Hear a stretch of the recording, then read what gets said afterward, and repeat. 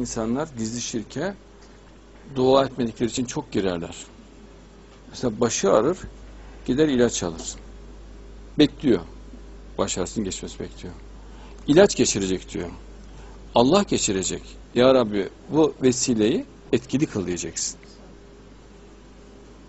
Veyahut başka bir yer bir yere ağrıyor. Bir ilaç sürüyor.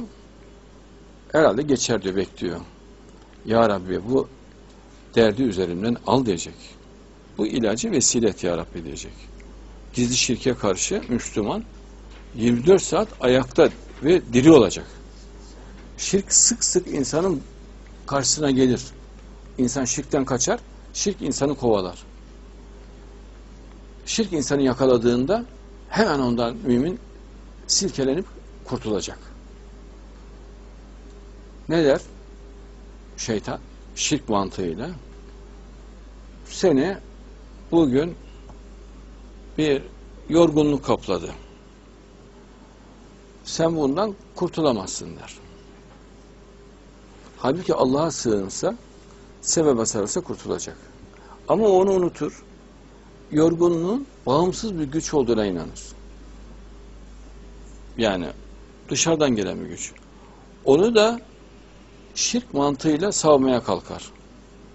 Yani şirk tedbirlerinden. Halbuki orada mutlaka Allah'ın kurtaracağına inanması lazım. Mutlaka Allah'ın rahatlatacağına inanması lazım. Her adımında, her yerde Allah'ın yardımcı olacağına inanması lazım. Hep bundan vesile olduğuna inanması lazım. Çünkü senin ilaç dediğin küçük, beyaz bir tabletin görüntüsü. Görüntü seni nasıl kurtarsın? Yani sana nasıl şifa olsun? Çünkü hastalık özel yaratılıyor. Tablet ayrı özel yaratılıyor. İkisi de ayrı ayrı yaratılıyor. Ne bağlantısı var ikisinin?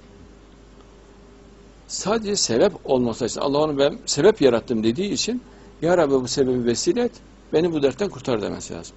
Kardeşlerimizi de Allah şirk ruhuyla hiç karşı karşıya getirmesin. Çünkü eğer samimi olarak şirk bitirilirse Mehdi talebeleri tarafından şirk tamamen bitirilirse Allah Nur suresi 55'te söz veriyor. Allah vaadinden dönmez diyor. Yem, Allah söz veriyor. Yani yemin ediyor. Ama tabii bizim yeminimiz gibi değil. Allah'ın sözü sözdür, yemindir. Tabii ki. Ben diyor dünyaya İslam'a hakim edeceğim. Korkularınızın ardından sizi güvenliğe kavuşturacağım. Dini her yönüyle, her yönüyle, her cihetiyle dünyaya hakim edeceğim diyor. Ama şirk koşmayacaksın. Sadece bunu istiyorum diyor.